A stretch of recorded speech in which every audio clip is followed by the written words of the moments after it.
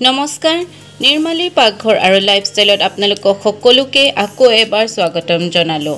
মই আজি আপোনালোকৰ আগত আৰু এটা নতুন ৰেচিপি লৈ আহিছোঁ সেইটো হৈছে কলডিলৰ ভাজি ভীমকলৰ কলডিল মচুৰ দাইলৰ সৈতে।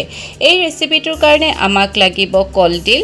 মই এয়া ভীমকলৰ কলডিল লৈছোঁ একেবাৰে মিহিকৈ কাটি লৈছোঁ। তাৰপিছত লাগিব মিঠাতেল মিঠাতেল নিজে আন্দাজমতে দিব। তাৰপিছত লাগিব মচুৰ দাইল। কেইটামান মচুৰ দাইল মই আধা ঘণ্টামান আগত তিয়াই থৈছিলোঁ তাৰপিছত ধুই টুকি লৈছোঁ। তাৰপিছত লাগিব আমাক নিমখ হালধি জিৰা গুড়ি ডেৰ চামুচ ধনিয়া গুড়ি ডেৰ চামুচ তাৰপিছত পিঁয়াজ তেজপাত আৰু ইয়াতে আছে আদা নহৰু শুকান জলকীয়া আৰু জালুকৰ বটা। শুকান জলকীয়া দুটা দিছোঁ মই আৰু জালুক দহ বাৰটামান দিছোঁ আৰু আদা নহৰু গোটেইখিনি মিক্স কৰি একেলগে বটিছোঁ। এতিয়া আহক কলডিলৰ ভাজি বনোৱা মই আৰম্ভ কৰোঁ। প্ৰথমতে মই কেৰাহীত তেল দি দিম। তেলখিনি ভালকৈ গৰম হ'ব দিছোঁ। মোৰ তেল গৰম হৈ গৈছে এতিয়া মই ইয়াতে দুটা তেজপাত দিম। আৰু কাটি থোৱা পিঁয়াজখিনি দি দিছোঁ। ইয়াতে মই পিঁয়াজ দুটা লৈছোঁ মিডিয়াম চাইজৰ।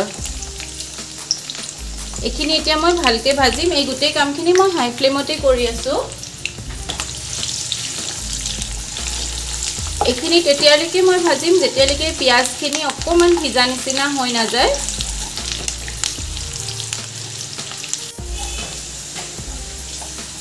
মোৰ পিঁয়াজখিনি ধুনীয়াকৈ ভাজ খাই গৈছে। এতিয়া মই ইয়াতে কলডিলখিনি দি দিম।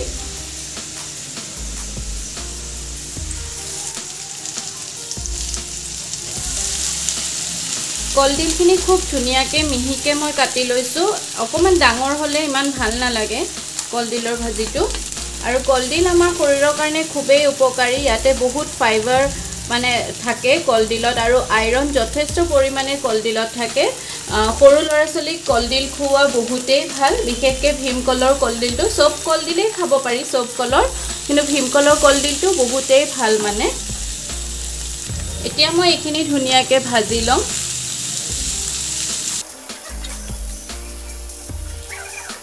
এতিয়া মই ইয়াতে তিয়াই ৰখা মচুৰ দাইলখিনি দি দিম। মচুৰ দালিখিনি এইকাৰণে তিয়াই থ'ব লাগে যাতে মানে সোনকালে সিজি যাব কলডিলে দাইলে একেলগে। এতিয়া মই ইয়াতে জুইটো এতিয়া মই চিমত দি থৈছোঁ। এতিয়া মই ইয়াতে যিখিনি মছলা আছিলে নিমখ হালধি জিৰা গুড়ি ধনিয়া গুড়ি গোটেইখিনি একেলগে দি দিম। নিমখ হালধি জিৰা গুড়ি ধনিয়া গুড়ি। এতিয়া মই লৰাই দিম খুব ধুনীয়াকৈ। এতিয়া মই অকণমান ফ্লেমটো বঢ়াই দিছোঁ। আৰু ইমানখিনিতে মই বটি ৰখা আদা নহৰু শুকান জলকীয়া আৰু জালুক গোটেইখিনি দি দিম।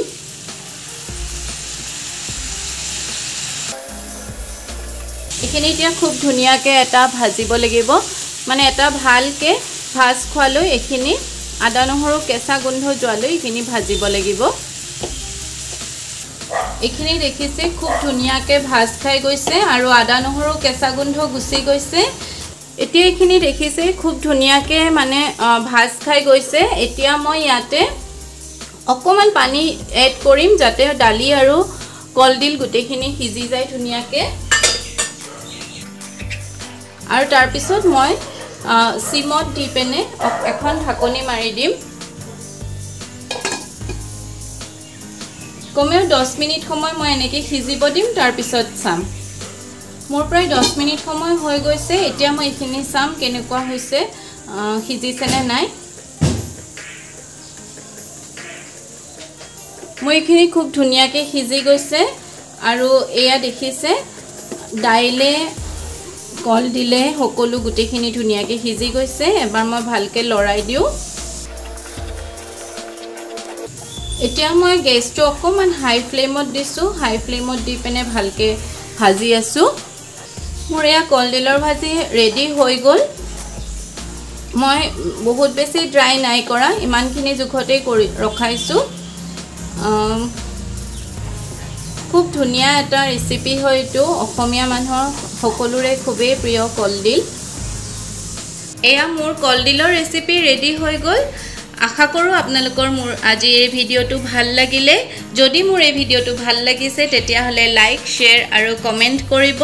আৰু যিসকল মোৰ চেনেলত নতুন তেওঁলোকে মোৰ চেনেলটো ছাবস্ক্ৰাইব কৰিব বুলি পিনে আশা কৰিছোঁ। আৰু আপোনালোকে মোৰ ইনষ্টাগ্ৰামৰ পেজটো ফ'ল' কৰিব নিৰ্মালী পাকঘৰ বুলি আছে। তেতিয়াহ'লে আজিলৈ আহোঁ। পুনৰ আকৌ এবাৰ লগ পাম আৰু এটা নতুন ৰেচিপি লৈ। ভিডিঅ'টো শেষৰলৈকে চোৱাৰ বাবে বহুত বহুত ধন্যবাদ।